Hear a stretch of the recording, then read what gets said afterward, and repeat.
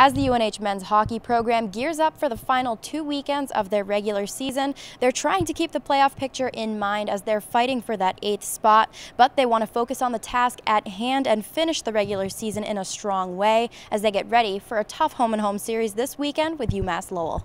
Before the bye week, the Wildcats thought they were generating good offense and taking advantage of their zone time, but that will be even more important heading into this weekend with Lowell and getting past a tough goalie in Tyler Wall four games left in, uh, in, our regular season, and hopefully we get more to play after that. But uh, it's not going to be an easy road, as we know, with uh, obviously Lowell being uh, who they are. And coming out of the gates this week it's been great energy and effort this week at practice, and hope, hopefully continue that today with today's practice.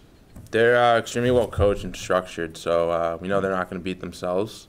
And so we're just kind of focusing right now on creating chances for ourselves because we kind of more focused on the offensive um, offensive play and stuff like that, just kind of taking away his eyes and stuff like that because he's a great goalie. So if he sees the puck, most more than likely going to save it. Yeah, I think continuing to play the way that, that we did against BU, like you said, uh, create those chances and, and bear down on some of those and be able to put the puck away. That's going to be big for us. So we obviously know that they have uh, they have good structure there. They have good coaching, good goaltenders. So we just got to bring our game.